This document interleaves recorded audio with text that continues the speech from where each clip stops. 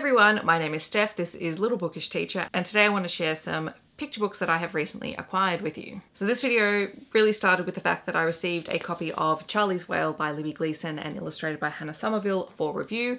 This is an absolutely gorgeous children's picture book. So thank you very much to Hachette for sending this to me. This is about Charlie, who is a young boy who is absolutely obsessed with whales. He reads all the books about them, he knows all the facts, and his ultimate dream is to one day see a real live whale in the wild. He never gives up on this dream to see this whale, despite the fact that, you know, people tell him, you know, don't get your hopes up, don't expect to see a whale, even if you're at the beach, you know, we're too far away from where they would be. And he just, he never gives up. And it is a story about being passionate about something. It is about believing in your dreams and about not giving up. It is gorgeous. It is beautifully illustrated and this will delight any young reader who absolutely loves sea creatures. Then there's Colouroos by Anna McGregor. This is an absolutely gorgeous picture book. I've actually read this one before, but I've never owned a copy of it myself. This is about three mobs of kangaroos, the yellow mob, the red mob, and the blue mob, who all come from different parts of Australia.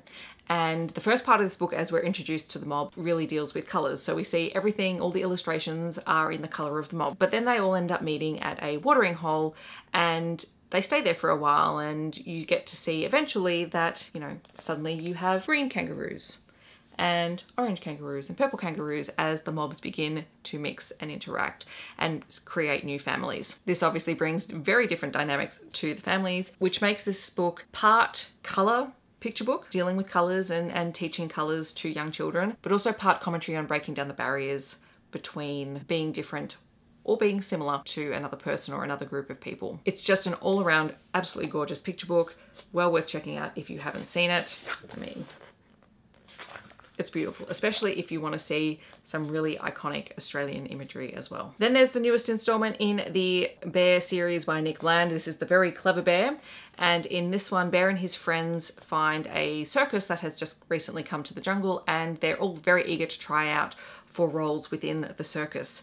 But while all his friends have these amazing tricks that have them quickly snapped up by the circus bear is less successful and he goes off to try and become better at a skill and by the time he comes back to the circus he realizes that his friends are maybe not so happy and they're not being treated as well in the circus as they all first thought and so he rescues all of them. On the surface this is just another really fun story about Bear and his friends in the jungle but as an adult we know that this would probably be a really good discussion for how animals are treated within circuses or other performing groups or performing acts like that. So it would be a great discussion opener, particularly with older children. I think this would work really well with. As always, it does have Nick Bland's very fun signature rhyming style bright coloured illustrations, just dealing with a heavier topic this time. I also read The Speedy Sloth by Rebecca Young and Heath McKenzie.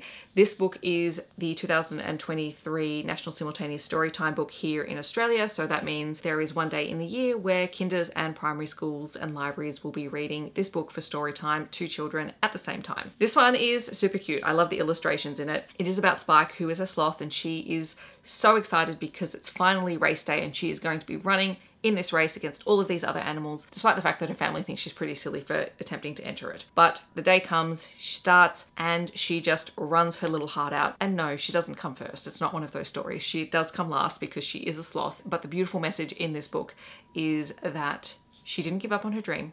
She still did it. And she was happy that she had just even participated and she's so proud of herself for that at the end of it. So it's a really great way to talk about the fact that you don't always have to win to be successful and it's just absolutely gorgeous. Another new to me picture book is Thank You Rain by Sally Morgan and Johnny Warrkatja Malibirr and this is a story about rain arriving in the desert of Australia and the sounds and the life that rain brings to usually quite a dry country and it's absolutely beautiful. It's got Sally Morgan's beautiful writing style. The illustrations are just absolutely gorgeous and very engaging to look at.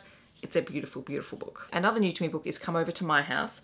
This is by Eliza Hull and Sally Rippin and it's been illustrated by Daniel Gray Barnett who I've now got a few books by him, so I was very excited to see the, this illustrative style. And this is a beautiful book that showcases people living with disabilities and the fact that they live normal lives just like anyone else.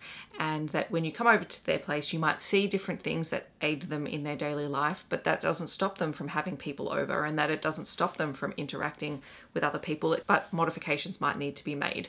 So it's a beautiful story that introduces a lot of different disabilities or different needs in the community. You have one character who has cerebral palsy, another who has autism. There is dwarfism representation. There are people living with intellectual disabilities. There are people who are deaf or blind in the story.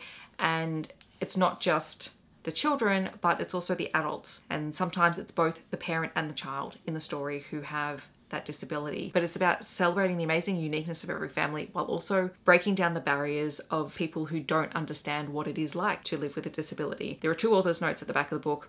Eliza Hull does live with a disability, and Sally Rippin is a close friend, and so the two worked very closely together to make sure that this representation was authentic and genuine. It was just absolutely gorgeous to read.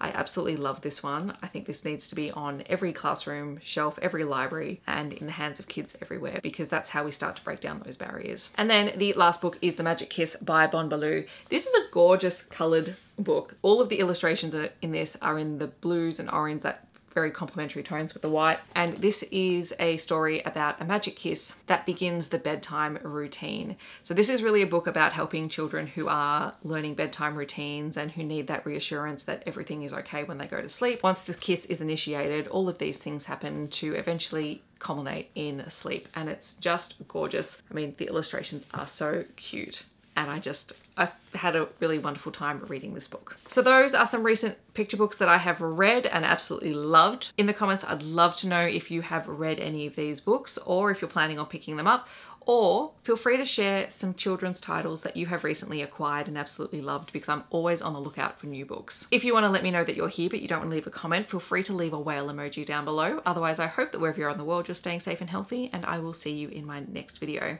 Thanks so much for watching. Bye everyone.